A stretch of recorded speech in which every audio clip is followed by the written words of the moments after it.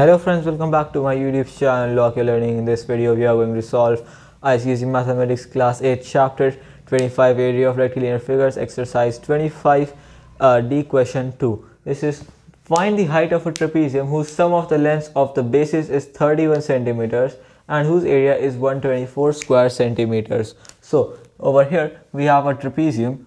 In this trapezium we have got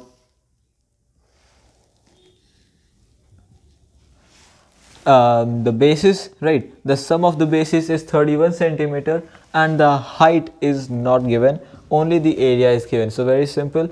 Area of the trapezium.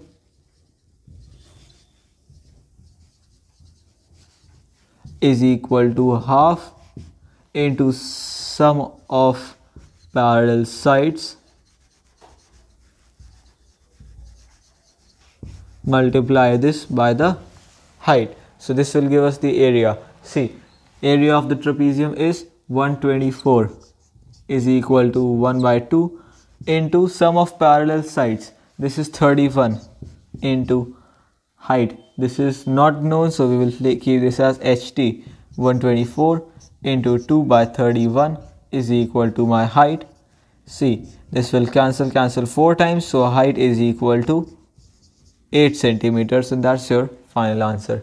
And friends, this is all for today. If you are new to my YouTube channel, do not forget to subscribe and leave a like in this one. Till then, take good care of yourselves and bye bye.